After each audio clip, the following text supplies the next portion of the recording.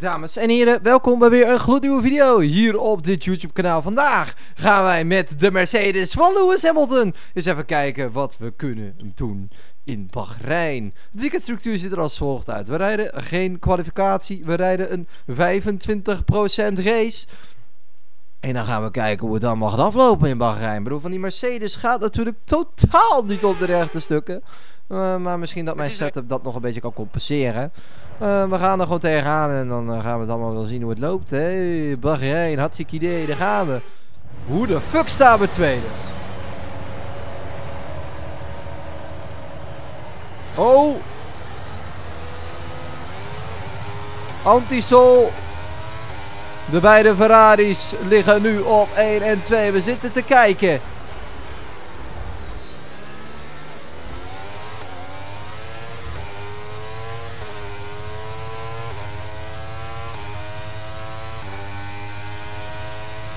Maar er komt nog niemand langs zij.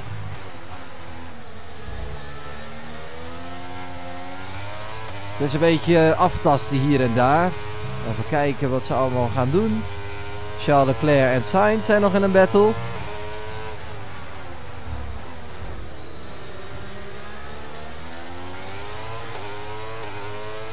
En nog steeds zijn die twee met elkaar aan het vechten.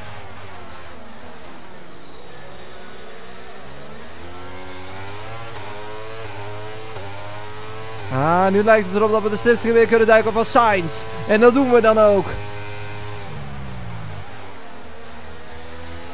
Alleen het zit er simpelweg niet in omdat we die door durfden te zetten.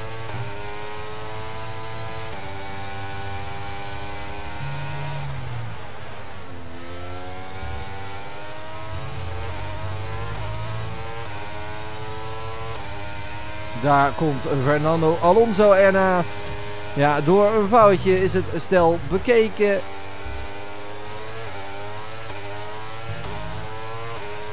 Maar we gaan nog een keer.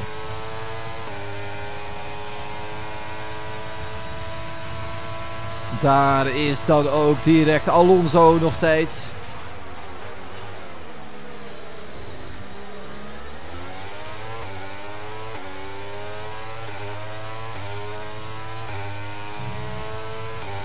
Oké, daardoor hebben de Ferraris wel eventjes uh, ja, wat ze willen, zeg maar. Want het uh, gaat nog niet heel erg lekker aan onze kant.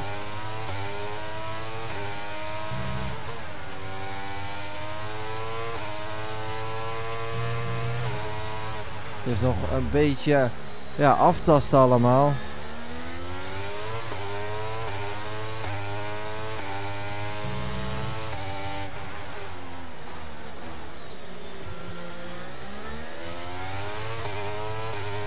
Moeten wel echt ERS gebruiken om bij de Ferraris te blijven.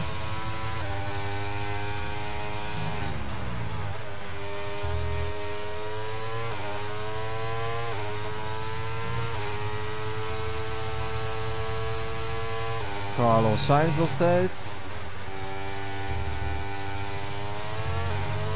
Ja, ik wil in de buurt komen van Sainz. We moeten, nou ja, laten we het eerst even zo doen. Proberen weg te rijden bij Alonso. Laat dat maar eerste strategie zijn.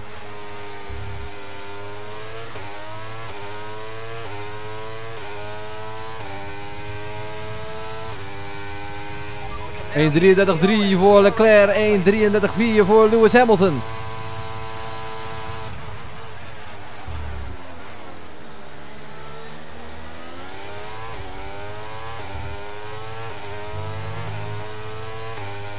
En wij komen steeds dichter bij Sainz. Alonso buiten de DRS.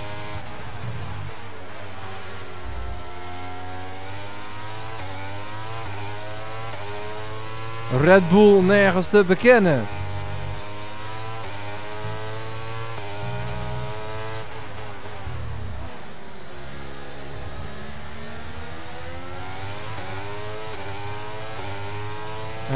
Dus nog steeds in de kielzocht van Sainz.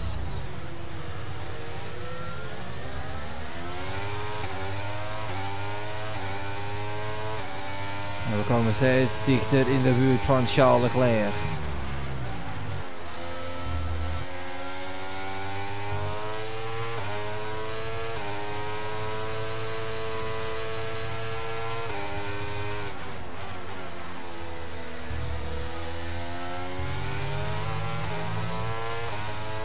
Carlos Sainz. Ik wil jou inhalen, vriend.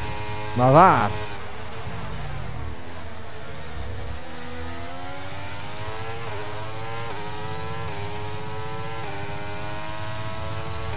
Hier misschien. Oh, nee, we komen gewoon echt snelheid tekort op de rechte stukken. Maar dit gaat helemaal verkeerd.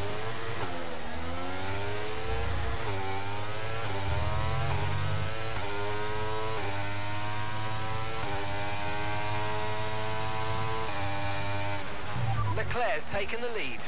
En dus Leclerc nog aan de leiding van deze Grand Prix.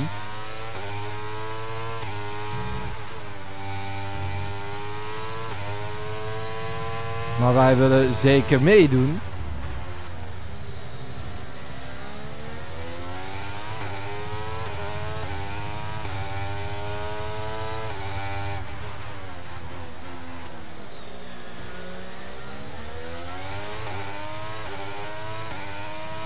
Je merkt aan alles dat de softbanden van de Ferraris er onder vandaan slijten. Maar ja, de vraag is, wanneer gaan hun naar binnen?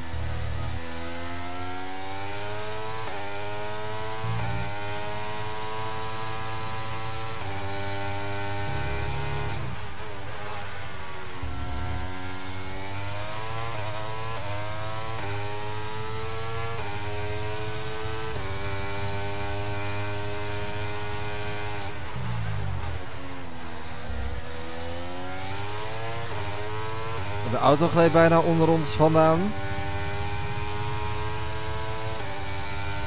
En 35-3, ja logisch, want we hadden natuurlijk dat moment in de eerste sector.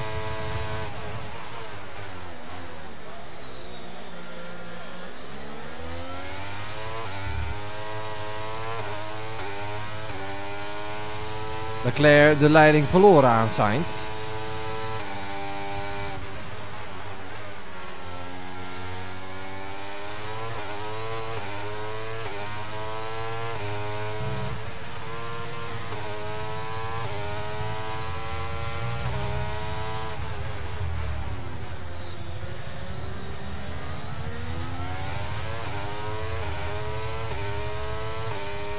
En met nog 9 te gaan. Proberen wij het Ferrari zo moeilijk mogelijk te maken.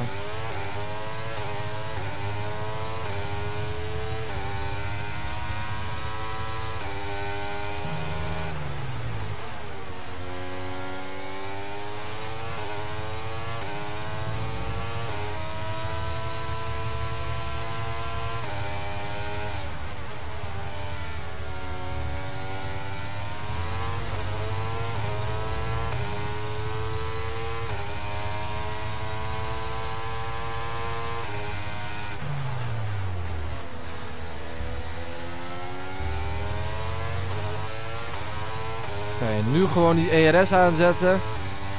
En kijken hoe ver je komt. Push now. Okay, so we're leading our teammate by 7.3 seconds.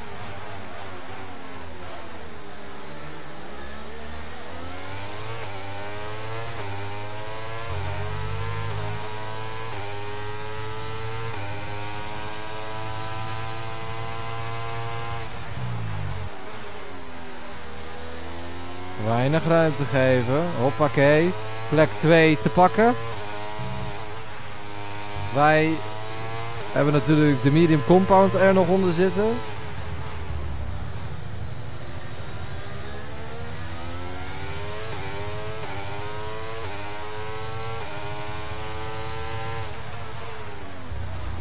Ah, kloot, ik zat vast aan die curbstone. Verstappen heeft de aansluiting weten te vinden op Charles Leclerc.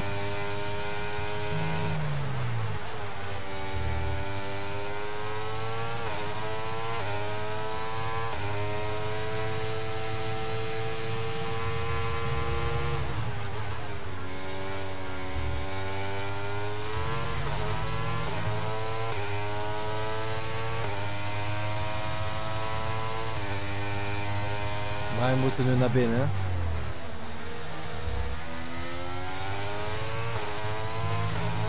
We gaan nog een rondje door. Want wij rijden op de medium compound, dus kunnen wij dit ons verantwoorden. Ronde 7. We proberen de leiding over te nemen van Sainz.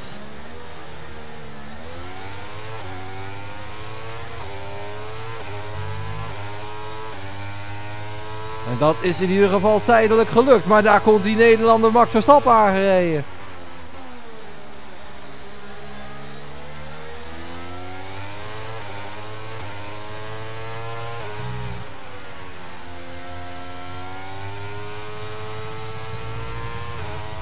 Het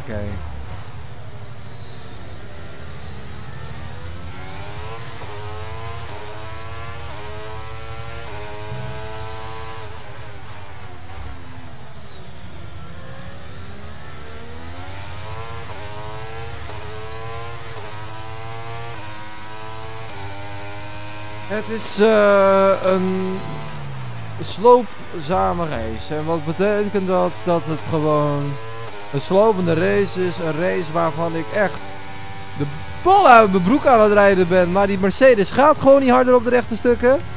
En ik kan ook zelf niet rijden. Dus dat, dat scheelt ook weer een hap.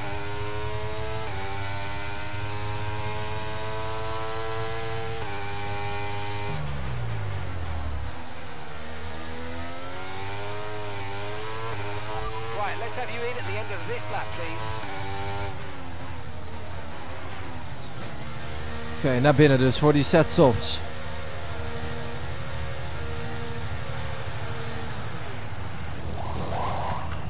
Nou hebben onze teamgenoot er ook even lekker bij. Ah, dit moet hij kunnen halen. Want hij is daar nu al.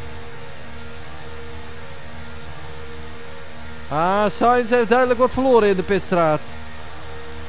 Okay, stay clear of the white line on the exit or receive a penalty for dangerous driving if you cross onto the track.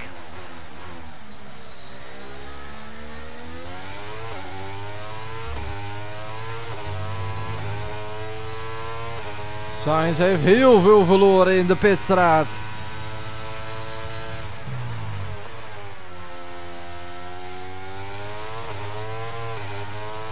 Wij gaan Toto Wolff trots maken.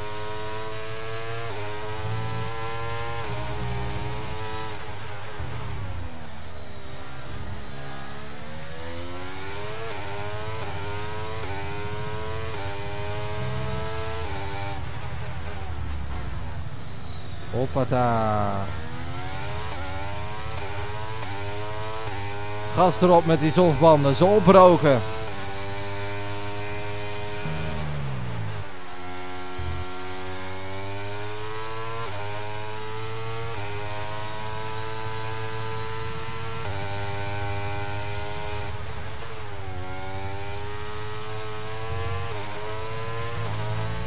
Is Toto ook alle trots op. Track limits mag je rijden in het team van Mercedes.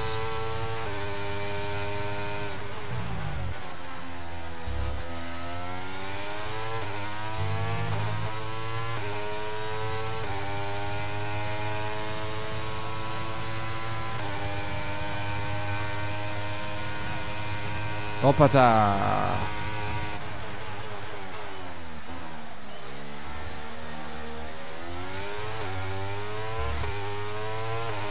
En zo ligt Lewis Hamilton aan de leiding van de Grand Prix van Bahrein. Want dit is net ook al lag.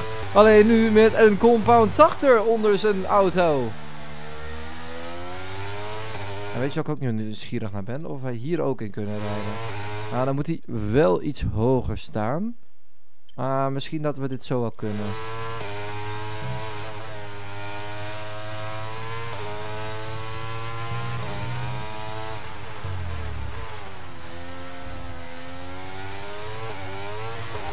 Behind's just boxed for mediums. Car behind on the medium tyre now. Oh.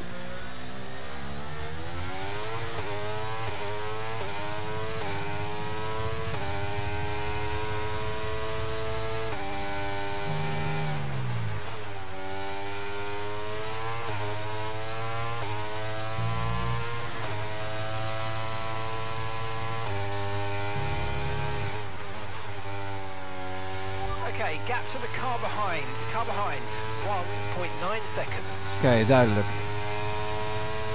1,8 seconden nog steeds.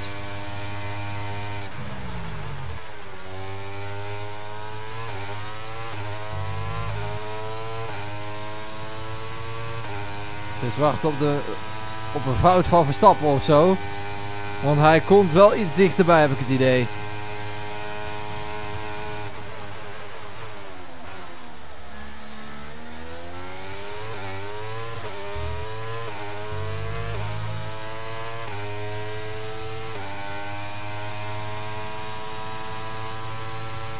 Okay, that's with five laps of fuel remaining. Five laps of fuel left.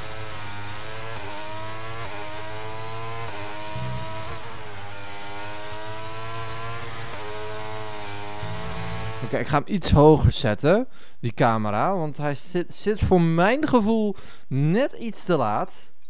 Ik bedoel, te hoog.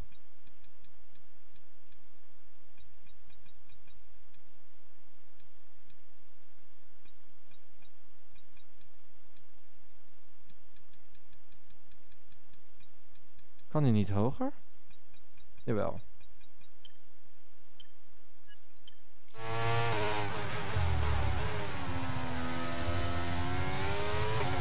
Zo zien jullie denk ik ook net iets meer en ik ook.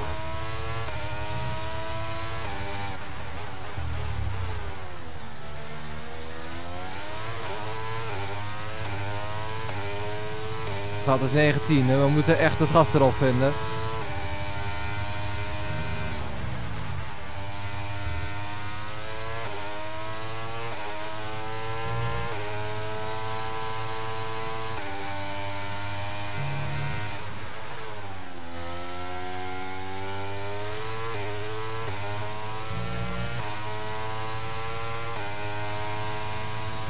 Nog vier rondjes te gaan hier in het prachtige Bahrein. Lewis Hamilton heeft het enorm zwaar om Max Verstappen achter zich te houden. In die razendsnelle Red Bull. Hij zit hier ergens al. Hij zit in onze, in onze kijkhoek gewoon.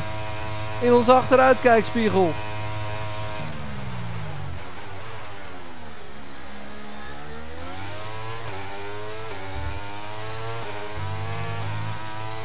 Die softbanden gaan er iets te snel aan bij de Mercedes.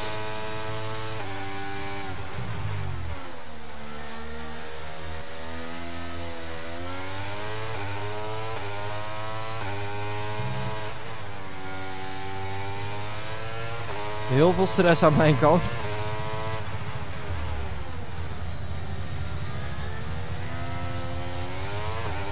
We komen niet meer echt in dat ritme.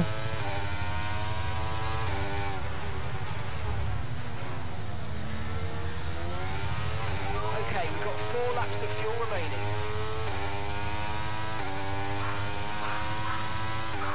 Komen er gewoon totaal niet meer in. Maar we komen wel...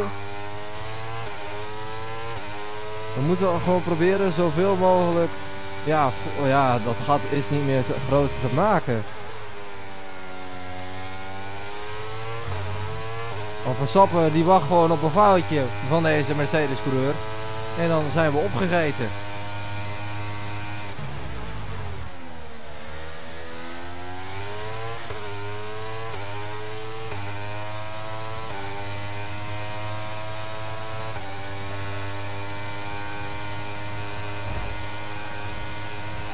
Okay, we've lost a position. That's us down a place.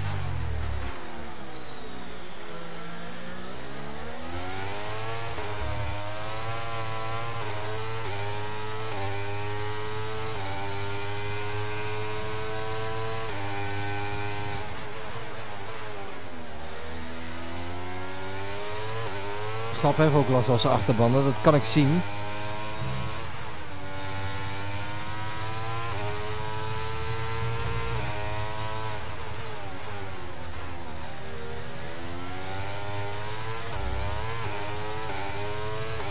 Kijken of dat echt lag aan de cockpitcamera. Kunnen we hier misschien ook nog inlopen?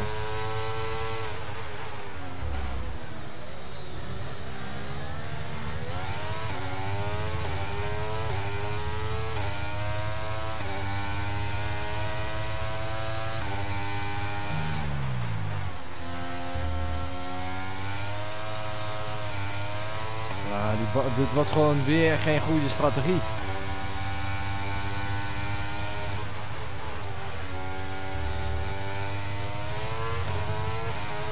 We zijn erin geruisd door onze strategische team.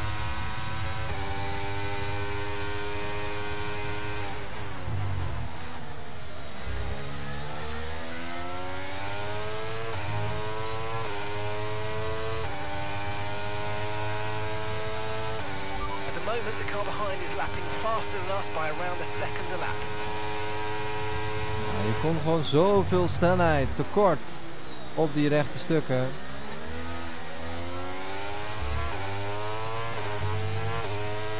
Je komt het gewoon overal tekort. Niet alleen op de rechte stukken.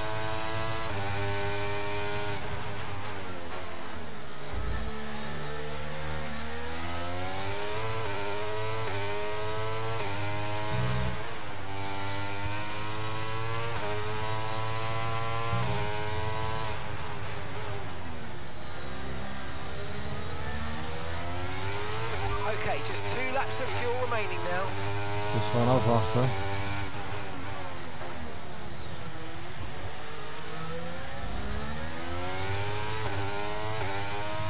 We blijven wel gewoon netjes in die DRS van Sainz. Maar daar blijft het ook eigenlijk wel bij.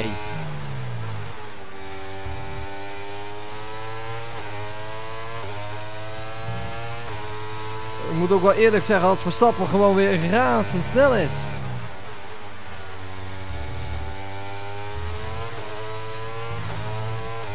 En dat wij deze laatste ronde gewoon eigenlijk figuranten zijn.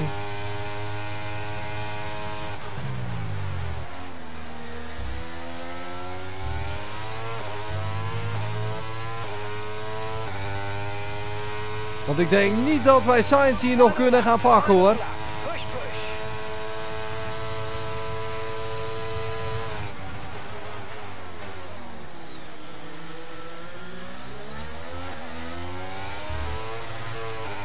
Maar nu helemaal niet meer. Dit was een enorm grote fout.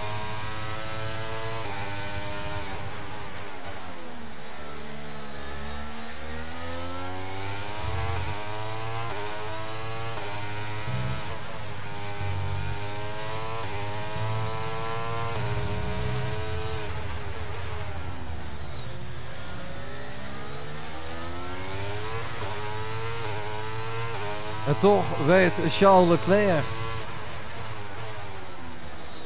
het voor elkaar te krijgen.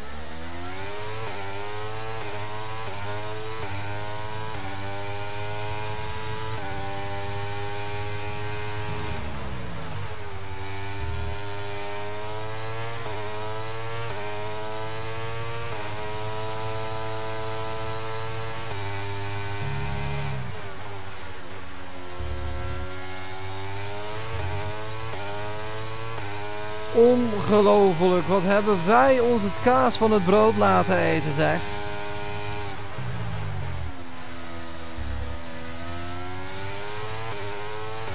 Maar ja, een gat van 2,7 seconden is gewoon niet voldoende.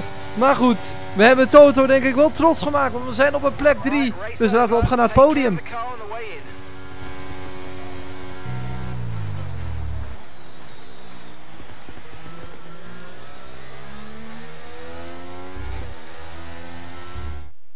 Een fantastische teamprestatie voor een overwinning hier in de woestijn. Nou Bas, waardoor hebben ze deze winst kunnen pakken? Bij deze spelen de banden echt een grote rol in de uitkomst. Zoals altijd draait het niet alleen maar om snelheid, maar ook om een constante snelheid over de gehele baanafstand. Als je dus de rondetijd kunt behouden en toch vloeiend rijdt en aardig bent voor je banden, dan heb je de race vandaag gewonnen. De coureurs zijn, as we speak, onderweg naar het podium. Wat een fantastische zege voor het team van Red Bull. Ze hebben het vandaag uitzonderlijk goed gedaan. We zaten de hele race op het puntje van onze stoel. Iedereen van het team, hartelijk gefeliciteerd.